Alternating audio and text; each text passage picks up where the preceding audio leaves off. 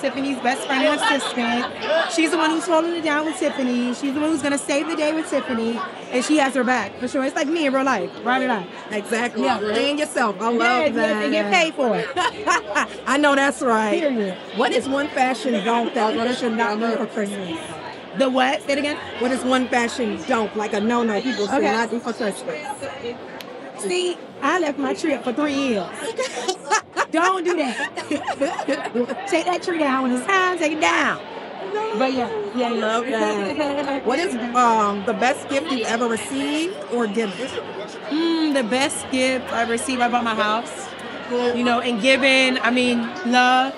That's it. You know, of course, there's gifts in love, but I give out that love every year. Every year. I love Yeah. that. And what is your favorite Christmas song? Can I get a note? Ooh, um, hey, Santa, can you bring me something good? I love that. Thank you so much. Thank you.